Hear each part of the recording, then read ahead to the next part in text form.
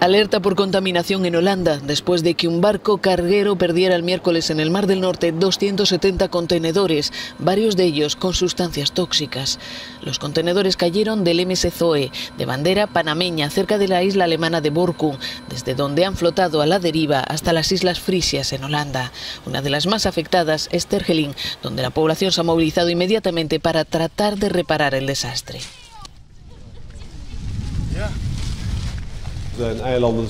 Los isleños llegaron a la playa con remolques para recuperar los contenedores, explica el alcalde de la isla. La gente vino con bolsas de basura. Cientos de personas están participando en la limpieza. El riesgo de desastre ecológico es muy real, sobre todo por la presencia de un producto difícil de recuperar, el poliestireno. La contaminación en Terschelling se extiende a lo largo de 20 kilómetros, tanto en la playa como en las dunas y en el área detrás de las dunas. El viento ha trasladado la espuma de poliestireno y el plástico. La contaminación también ha entrado en la costa de Frisia.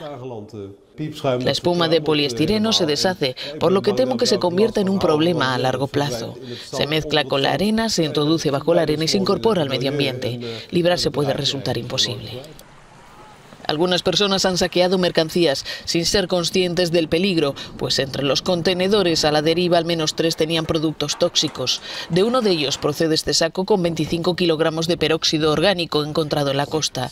Esta sustancia es peligrosa y muy inflamable y al quemar produce un humo irritante. En la isla de Amelan se recuperaron el jueves 130.000 kilos de basura en 8 kilómetros de costa.